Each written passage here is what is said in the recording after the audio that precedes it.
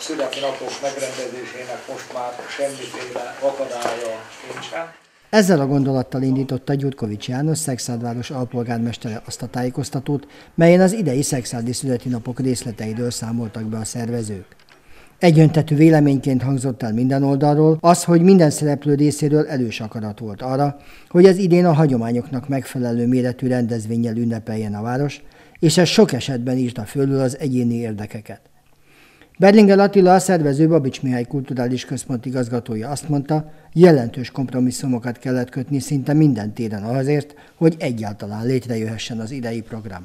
Az önkormányzati támogatás mellett jelentős a születi napok mögötti gazdasági szféra segítsége is a közel 70 millió forintos költségvetésű programon. Számos alkalommal sikerült olyan kompromisszumos megállapodás közülési döntéseket hozni, ami mind-mind azt szolgálta, hogy újra csak ismételni tudom magamat, azt a vágyat, azt a valamennyiünk közös elképzelését, hogy szükségünk van a születinapokra, szüksége van a városnak, hogy megmutassa a legszebb arcát, a hagyományait, a kiváló ízeit, a kiváló borokat. Az eddigiektől eltérően egy nagy színpadon futnak majd a jelentősebb koncertek, mely a múzeum előtt kapott helyet, míg a Béla Király tér a borkostolásnak és az ételek elfogyasztásának lehet helye.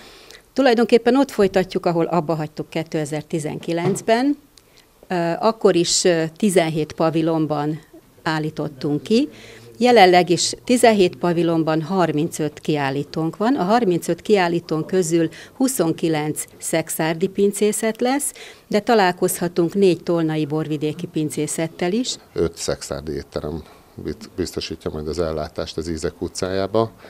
Nehéz időszak, nehéz feladat, két hete volt egy egyeztetésünk, megtalálni a megfelelő kínálatot, hogy minden rétegnek tudjunk olyan ételt biztosítani, amit meg is tud fizetni, olyan beszállítói árak mellett, amiket napról napra, tehát hogy heti esetekben napi árakat kapunk egy-egy termékre. Nem lesz egy egyszerű helyzet, de bizakodóak vagyunk. A program kísérő rendezvényeként ismét sor kerül a Tolna megyei képzőművészeti triennáléra is. Az, hogy megmutatkozzanak a, a népművészek, hogy e, milyen e, szinten e, végzik a munkájukat, az nagyon fontos. Egyrészt e, saját magukat tudják ezzel bemutatni, reklámozni, és fel tudják mutatni azokat a helyi értékeket, amelyekből kiindulva e, a, megújítják, és a mai kor számára használhatóvá teszik az elkészített tárgyakat. A tájékoztatón elhangzott, bár számos híresztelés látott napvilágot az elmúlt időben, ma már egyértelművé vált, nem kell belépődíjakat fizetni a szeptember 15-én induló négy napos szexádi születi napok programjaira.